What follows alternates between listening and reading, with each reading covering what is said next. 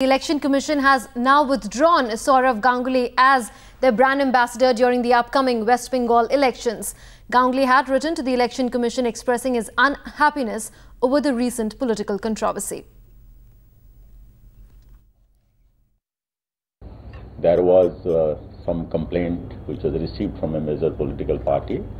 Uh, so the commission was uh, looking at that issue, which the CEO and others have shared with you from time to time. And in the meantime, because of the amount of controversy that it generated, uh, Mr. Uh, Ganguly has written to us uh, saying that uh, uh, he would uh, be not, this all things have caused some amount of unhappiness to him and he would not like to have this promotion uh, relating to voters education to go on further. Now, Sombit uh, joins us on the phone line for more on this story. Sombit, uh, do you see this controversy now coming to rest finally with the withdrawal uh, of uh, Sourav Ganguly, or rather with the Election Commission decision to withdraw Sourav Ganguly as the brand ambassador?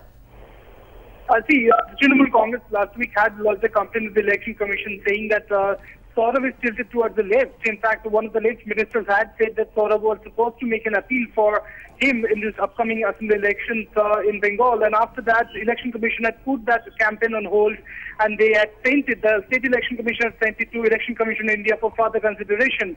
So election commission had put it on hold, this controversy came up and then Sourav Ganguly was really unhappy and expressed his unhappiness in this letter that has, he has written to the election commission saying that uh, he wants to be disassociated from this campaign uh, in the in the wake of this controversy. So uh, uh, the election commission has clarified that to respect Sourav Ganguly's feeling, they are also withdrawing this campaign, election participation campaign uh, that was supposed to be aired uh, in, in national television and other television channels uh, for the upcoming elections. So at this moment, Sourav Ganguly doesn't want to be part of this uh, campaign, but election commission is saying that Sourav Ganguly may participate in their campaign in, in future elections in other states as well as ICON.